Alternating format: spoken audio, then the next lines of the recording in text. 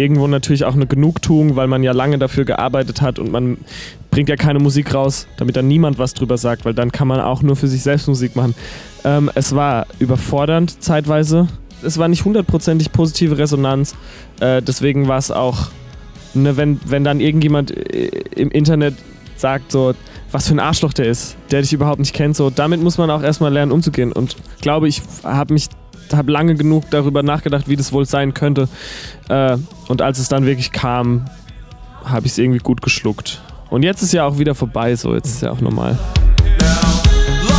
Ich habe äh, hab, hab viel gemacht zu Hause. Ich äh, habe zwei Songs ganz fertig geschrieben und an einem dritten und vierten so ein bisschen weitergemacht. Und ich bin zufrieden bis jetzt. Ich habe jetzt fünf Songs, die komplett fertig sind. Fünf, sechs, so je nachdem wie man es nimmt. Also jetzt touren wir erstmal bis Ende des Jahres und ich versuche halt immer, wenn ich Zeit habe und Lust habe, Songs zu schreiben und ähm, dieses Jahr werde ich es nicht mehr schaffen und Markus, mit dem ich es wieder mache, auch nicht.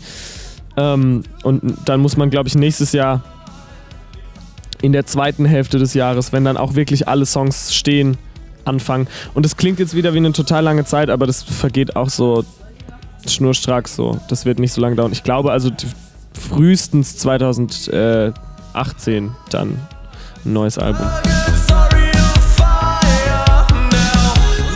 Philipp muss ich ja nicht sagen. Äh, Philipp kenne ich ja seit äh, vielen Jahren schon und der war vorher bei César und ich habe natürlich mitgekriegt, dass der Solokram macht und es macht einfach Sinn. Da schließt sich dann halt irgendwie der Kreis so.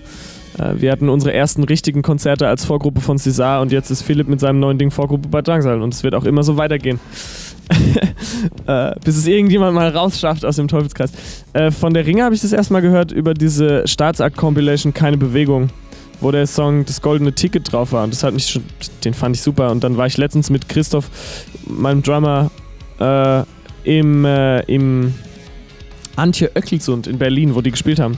Mega mäßig. Und da stand es auch schon echt im Raum. Irgendwie Tammo von Trümmer, der ja auch der Booker ist von der Ringe, hat es mir irgendwie vorgeschlagen und es hat Sinn gemacht. Fabian wollte ich schon, seit ich dies erstmal vor zweieinhalb Jahren in Leipzig live gesehen habe, mit denen irgendwas machen, ob es ein Song ist oder auch einfach nur wieder auf ein Konzert gehen oder halt äh, die mit auf Tour nehmen. Und jetzt ist es soweit. Und Flut, lustigerweise Flut äh, wurde uns vorgeschlagen. So, ja, was wollt ihr eigentlich, wen wollt ihr eigentlich in Österreich mitnehmen? Und ich war so.